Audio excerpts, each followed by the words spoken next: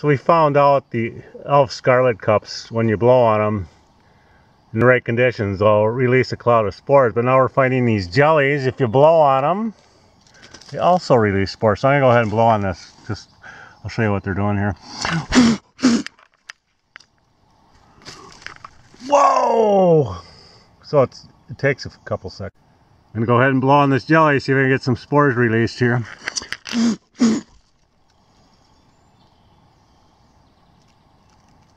Yep. Go ahead and blow on this jelly. And this jelly.